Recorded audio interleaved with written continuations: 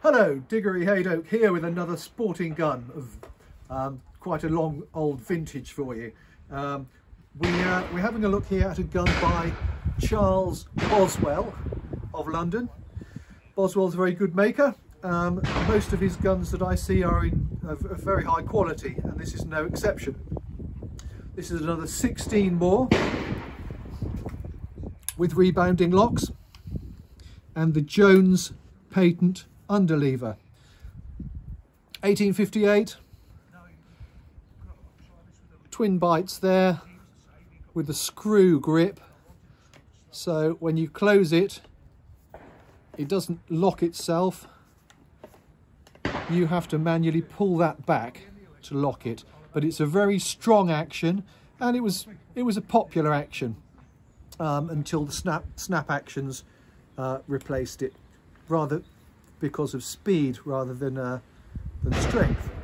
But a very good action and a very nice gun.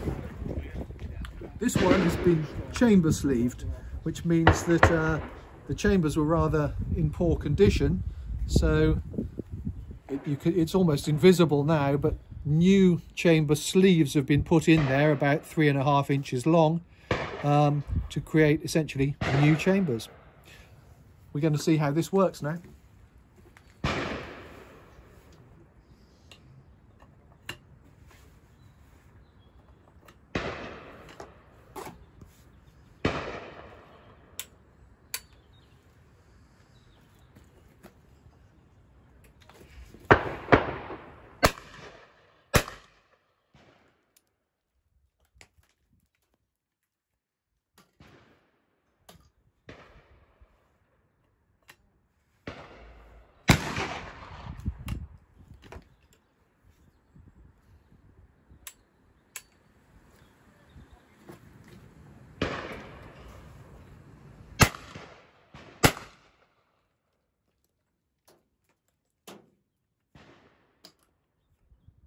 Lovely gun.